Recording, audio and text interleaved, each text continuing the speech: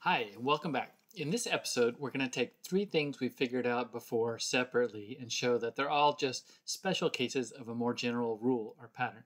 And that's going to be very satisfying, and it'll let us conclude a lot of other stuff too with no work. Okay, here are all the 3n plus 1 loops of length k equals 8 that have x equals 5 up moves. For example, there's only one number where if you apply the 3n plus 1 rule to it, you get 5 odds, that's up moves, followed by 3 evens, that's down moves, that loops back to itself. And that number is 211 over 13, which is a fraction, uh, and every member of every loop here turns out to be a fraction. No loop consists of integers, and so none of them disprove the 3n plus 1 conjecture but there's infinitely more charts like this with longer and longer loops. So we've peeled off some special cases. First, we looked at the outer loop here, the circuit loop, with all up moves followed by all down moves. The bottom member here is 211 over 13, which is not an integer because 13 doesn't divide 211 evenly. But we also showed that the bottom member of any circuit loop is going to be a fraction instead of an integer. The bottom of the circuit always takes this form, and we employed some heavy artillery to show why this can't ever be an integer, no matter how big k and x get. Second, we looked at regularly shaped loops like this one consisting of a bunch of up, up, downs followed by a bunch of downs. And we proved that it likewise never contains integers, no matter how long. And finally, we looked at the high loop, the one whose bottom member is largest among all the loops. We couldn't get a closed form for any member of the high loop, so we took a different tack. We picked two members of the high loop, these two, and we said if they're both integers, then their difference must also be an integer. But here, their difference is 485 over 13 minus 421 over 13, which is 64 over 13, which is 2 to the 6th over 13, which in fact can't be an integer because there's no 13 in the denominator, uh, in the numerator to cancel out the denominator. So this high loop can't contain integers. And better still, every high loop in every chart like this has two such numbers, so high loops can never contain integers. Now, it turns out there's a simple reason behind all three of these types of loops uh, not being 3n plus 1 counterexamples. So to see why, let's apply our high loop trick back to the circuit loop.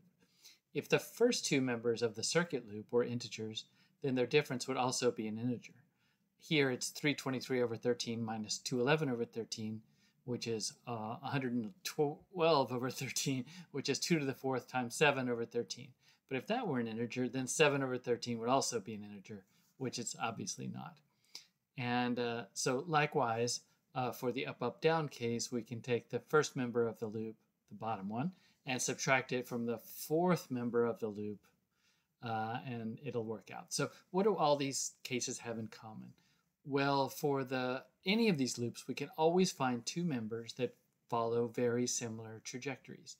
So the bottom member of the circuit has this trajectory, all ups followed by all, all downs.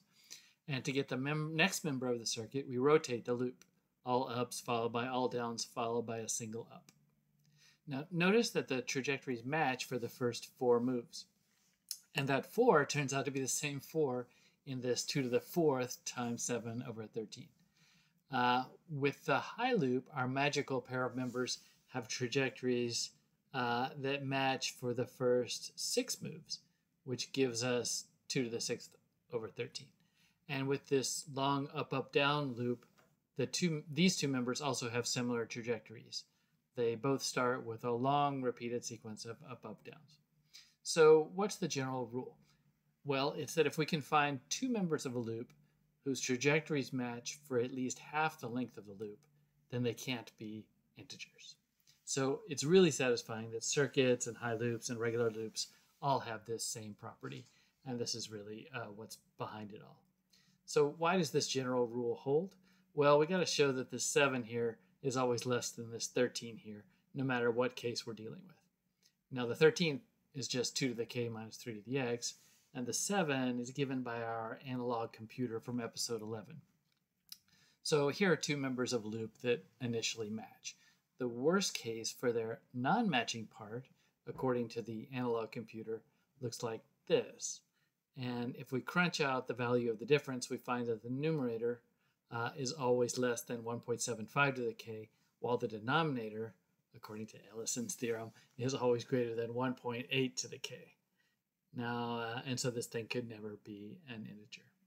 I know that's a little bit hand wavy, and hilariously, it doesn't even work for this case because 1 to the 1.8 to the k is greater than 13, but it works whenever k is greater than 27. So that's pretty satisfying progress. Now, you might be wondering, what other loops does this method apply to, especially in monster charts where uh, you know every loop has millions of members? Well, it applies to lots of them, uh, some with regular patterns like this and some with irregular patterns. Uh, but if we randomly select a loop uh, like this one, the best two rotations will still only match just a little bit, uh, and much less than half the length of the loop. And in fact, we can construct a specific loop where it's guaranteed that no two members have similar trajectories. And so we can call that the nasty loop because it does its best to confound our current method. Anyway, we'll look at that in another episode. So thanks for tuning in.